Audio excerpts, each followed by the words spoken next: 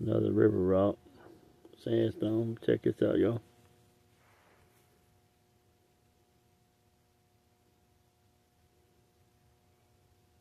Pretty cool, rock. You see the ridges in it. Sharp ridges. That's all crystallized. So old.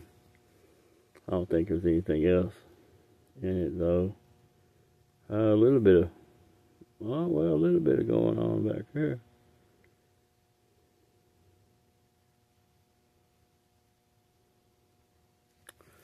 Nothing compared to the main event right there though.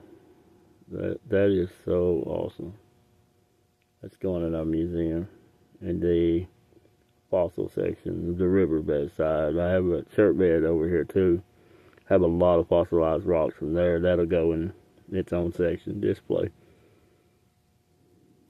Have a great day.